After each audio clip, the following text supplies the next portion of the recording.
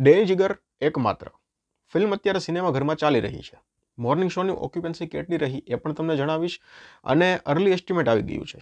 આપણે અત્યાર સુધી જે અર્લી આપણે અત્યાર સુધી જે અંદાજો લગાવતા હતા ને એ તો આપણો પોતાનો હતો.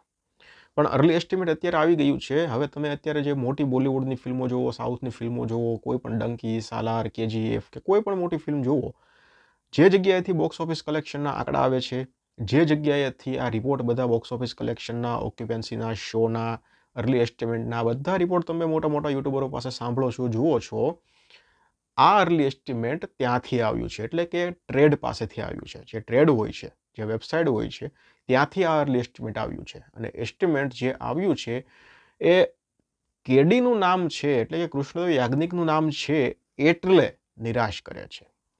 બાકી ગુજરાતીમાં આ એસ્ટિમેટ આમ જોઈએ નોર્મલ ફિલ્મો માટે તો ખૂબ સારું કહેવાય. પણ ફિલ્મ સાથે જોડાયેલા છે કૃષ્ણદેવ યાજ્ઞિક અને યશ સોની. આ જોડી છે એટલા માટે ક્યાંક ને ક્યાંક આ અર્લી એસ્ટિમેટ છે એ મને તો નિરાશ કરે છે. કેટલું છે એ તમને જણાવીશ, પણ એની પહેલાં હું તમને જણાવી દઉં કે મોટા મોટા શહેરોમાં મોર્નિંગ શોમાં કેટલી ઓક્યુપન્સી અને કેટલા શો હતા. હું તમને જણાવી દઉં કે બે હજાર ચોવીસની પ્રથમ ગુજરાતી ફિલ્મ છે જે અગિયારસો ને અઠ્યોતેર શો સાથે ગુજરાતમાં રિલીઝ થઈ છે. એટલે કે આ રેકોર્ડ જ છે. અત્યાર સુધી લગભગ કોઈ પણ ગુજરાતી ફિલ્મ આટલા બધા શો સાથે રિલીઝ નથી થઈ. એટલે બે હજાર ચોવીસનો પહેલો રેકોર્ડ તો કરી નાખ્યો છે, પણ જે ઓક્યુપેન્સી સવારની એટલે કે મોર્નિંગ શોની રહી એ ચાર પોઈન્ટ છત્રીસ ટકા રહી.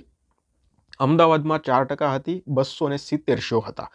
મુંબઈમાં એક ટકા ઓક્યુપન્સી હતી ફોર્ટી સિક્સ શો હતા. સુરતમાં પાંચ ટકા ઓક્યુપન્સી સાથે એકસો ચોવીસ શો હતા. આણંદમાં મોર્નિંગ શો હતા જ નહીં. પણ ત્રેપન શો ત્યાં છે.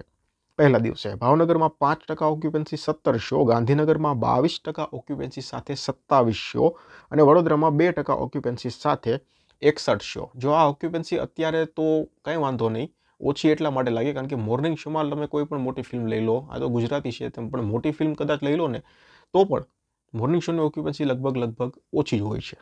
એટલે ઓક્યુપન્સી આ જે ડેની જીગરની મોર્નિંગ શોની છે એ ડિસન્ટ કહી શકાય. શનિવાર અને રવિવારની ઓક્યુપન્સી વધશે. જો એમાં પણ રિવ્યૂ ખૂબ સારા નીકળ્યા તો શનિવાર, રવિવારની ઓક્યુપન્સી વધશે. એમાં શનિવાર ઇવનિંગ શો અને નાઇટ શોની ઓક્યુપન્સી ખૂબ સારી રહેશે. તો અર્લી એસ્ટિમેટની તમને વાત કરું તો ફક્ત ને ફક્ત દસ લાખ રૂપિયાનું અર્લી એસ્ટિમેટ આવ્યું છે. જે નિરાશ કરે છે.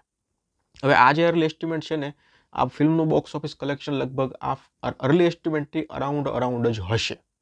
કારણ કે અત્યાર સુધી આપણે જોયું, બોલિવૂડની ફિલ્મો તમે હોય કે પછી સાઉથની કોઈ પણ ફિલ્મો હોય, આ અર્લી એસ્ટિમેટ જ્યાંથી આવે છે, પછી એના બોક્સ ઓફિસ કલેક્શન હોય છે ને એ લગભગ એની અરાઉન્ડ જ હોય છે.